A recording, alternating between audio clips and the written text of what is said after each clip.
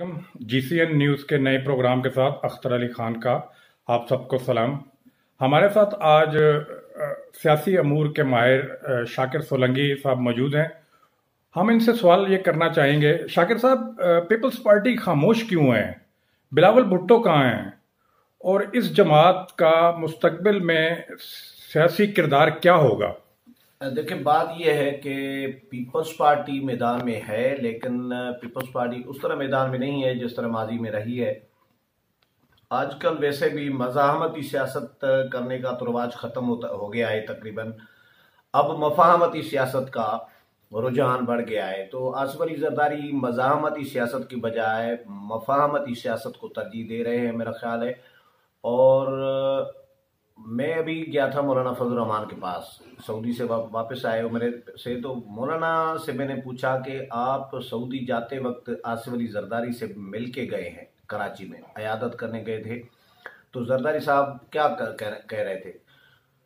मौलाना को जरदारी साहब ने क्लियर कह दिया कि मौलाना ने जब गिले शिकवे किए उनके साथ तो उन्होंने कहा, जरदारी साहब ने कहा कि नवाज़ शरीफ और शरीफ बरदरान जो हैं, ख़ानदान, वो डील करके अपना रिलीफ लेके चला जाए। मैंने और मैंने, मेरी बहन ने ठेका दिया है जेल में रहने का।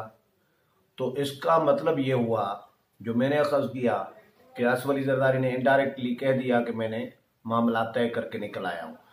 तो इस वक्त जिस तरह सियासी जमा माहौल एक बना हुआ है ना तो वो सियासतदानों के लिए कोई आइडियल सियासी जमातों के लिए नहीं है। अब ये इज़्ज़त बचाने में मसरूफ़ है, क्योंकि अगर ये इस तरह नहीं कर रहे तो इनको जेलों में इधर उधर और मुकदमा तो ज़ाहिर झूठे ही बना बनाए जा रहे होते हैं। कुछ सच्चे होते भी हैं तो वो साबित नहीं करते। जब साबित नहीं करेंगे मुकदमा तो उन पर आसिफ अली जतारी ग्यारह साल जेल में रहे एक मुकदमा एक इल्ज़ाम उन पर साबित नहीं हुआ तो जब साबित नहीं हो रहे तो हम तो उनको गलत ही समझेंगे कि गलत मुकदमात बनाए जाते हैं। तो ये इज़्ज़त बचाने के लिए बस वो साइड पे फ़िलहाल अपना कर रहे हैं। और आसवरी जरदारी ने एक दफ़ा आपको याद होगा, जब सदारती उहदा छोड़ रहे थे तो उस वक्त उन्होंने ये कहा था कि जो भी हुकूमत आए टेन, टीम टेन्यूअर कम अज कम उसको पूरे करने चाहिए। जैसी भी लूली, लंगड़ी जमहूरियत हो, उसको मुद्दत पूरी करनी चाहिए। हमें सियासी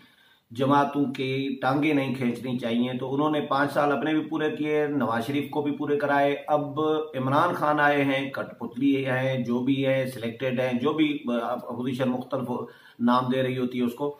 लेकिन एक जमहूरी प्रोसेस से आए हैं।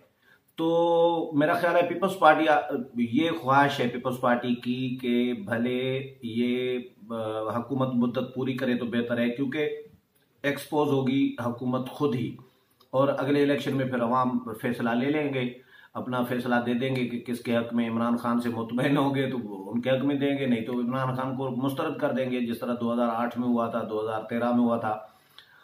तो इसी तरह Asif Ali Zardari wait and see की पॉलिसी अपना रहे हैं और कोशिश कर रही है पीपल्स पार्टी के पंजाब में पीपल्स पार्टी को फाल किया जाए। इस हमत अमली पे भी काम कर रही है। बहुत शुक्रिया शाकर साहब। आखिरी एक सवाल मैं आप रह गया। वो मैं आपसे ये करना चाह रहा हूँ कि क्या आप मिड टर्म इंतबात देख रहे हैं? मेरा ख्याल है मुझे मेट्रो में इंतबात अपोजिशन की तरफ़ से आ, कोई ऐसी एक्टिविटी मुझे नज़र नहीं आ रही जो मेट्रो में इंतबात कराने पर मजबूर करे। मासवाए मौलाना फजल रहमान के। मौलाना फजल रहमान ने अगर आज़ादी मार्च जैसा दोबारा सीन कोई किया तो वो फिर सीरियस होगा। ये फ़िलहाल तो टेलर था चला गया गुजर गया।